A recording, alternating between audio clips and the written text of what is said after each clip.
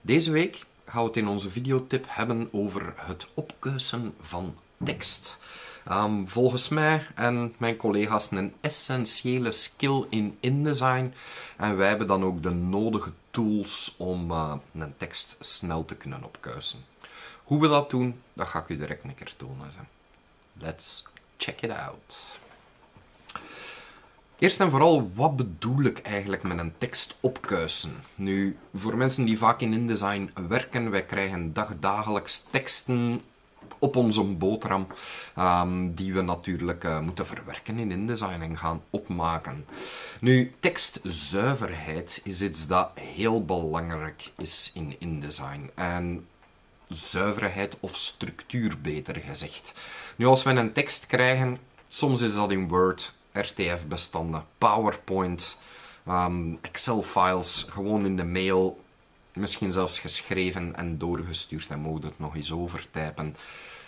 Ben het allemaal al tegengekomen in mijn carrière. Maar wat ik zelden krijg, dat is een zuivere tekst. En als ik hier kijk, ja, iemand heeft die een tekst geschreven. En om het een beetje duidelijker te maken voor ons, kijk, we zien hier multiple enters, meerdere hard returns die daarin gebruikt zijn, uh, om een beetje witruimte te creëren. Daar zijn betere manieren voor. Um, in InDesign weten we dat doorgaans, maar dit hebben we dus niet nodig in onze tekst. En als ik zoiets zie, of toekoer, wanneer dat er tekst in mijn InDesign file komt, het eerste dat ik doe, dat is find change opengooien. Find change, commando F of control F. Dan krijgen we dit venstertje te zien. En we gaan het allemaal niet te moeilijk maken. Um, de jongens van InDesign die hebben dat ook gewoon voorzien voor ons. Hier bovenaan in het Find Change venster vinden we een query menu. En als we dat openklappen, dat is hetzelfde voor iedereen, want al deze die zijn meegeleverd met InDesign. Daar zitten er een paar gouden tussen, of gouden Find Changes. Zoals de Multiple Return to Single Return, Multiple Space to Single Space en Remove Trailing White Space. Deze drie, dat zijn de drie dat ik eigenlijk op elke tekst een keer uitvoer. Dus ik klik de eerste aan, multiple return to single return. Dat gaat hier zo wat vreemde codes invullen als je dat nog nooit uh, gebruikt hebt. Misschien ook niet opgevallen, maar we zijn naar grep overgeschakeld automatisch. En ja, die heeft hier grepcodes ingegooid. Nu, wat doet deze grepcode? Kan ik er op find next duwen. Die vindt hier een dubbele return. Ik kan nog eens find next. Hier vindt hij een vierdubbele, een tweedubbele, tweedubbele enzovoort. Ja? Dus eigenlijk die grepcode, die multiple return to single return, die vindt multiple returns. Zijn dat er 3, 4, 5, 6? Maakt niet uit. Multiple. Change all. Boom. Allemaal weg. Onze tekst is al een stukje properder geworden. Een volgende, multiple space to single space. Als ik hier een keer find next doe, dan ga je zien, hier zit een dubbele spatie. Het is de enige, maar zo ben ik zeker, geen dubbele spaties meer. En dan voor de zekerheid nog de derde, Remove Trailing Whitespace. Nu, wat is dat? Kan ik er op next duwen?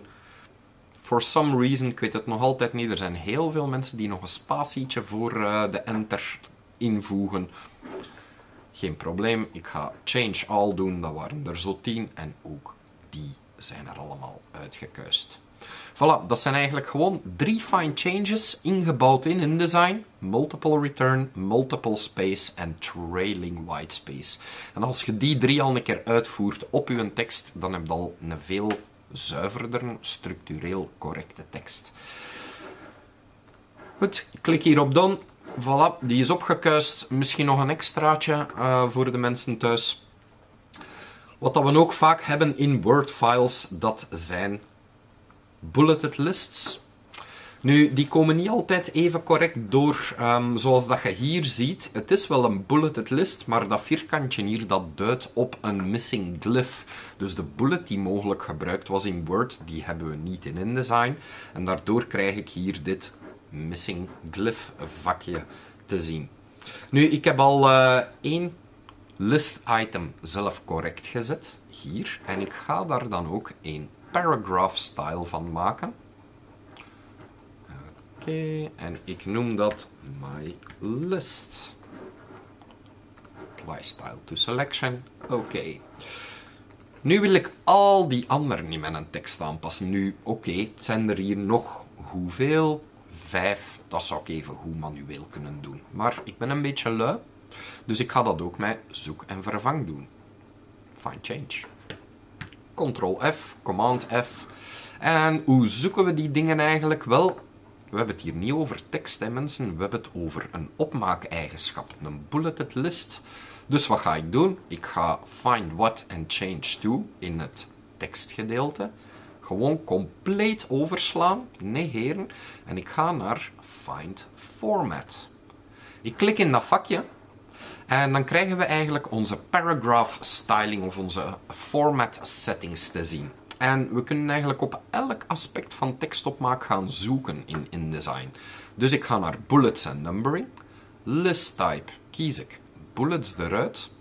En ik ga gewoon al een keer een steekproef houden met find next. Oh, oh, oh, die lijkt die allemaal te vinden. Prachtig. Nu, wat wil ik daarmee doen? Change format. Ga daarin klikken. Nu ga ik niet in die opties hier duiken, want ik kan hier een paragraph style aangeven, die ik daarnet gemaakt heb. My list. Oké. Dus ik ga dat nu uitvoeren. Ik zoek naar eender welk lijst item in mijn document en ik ga daar mijn paragraph style op zetten. Dus ik doe gewoon change all, vier replacements. Kijk eens aan alle list items gefixt en onmiddellijk mijn stijl erop. Simpel toch? Voilà, um, dat was de video voor deze week. Nog even uh, een kleine recap. Dus tekst opkuisen om die structureel correct te zetten. Geen overtollige enters, geen overtollige witte ruimtes. Dat doen we met find change en de ingebouwde of meegeleverde find change queries multiple return, multiple space en de remove trailing white space. En dan als bonus heb ik nog getoond hoe we door gewoon te zoeken naar opmaak dat in onze eigen paragraph style kunnen zetten. Hou ons YouTube kanaal in toog voor nog veel meer tips. See you guys later. Bye.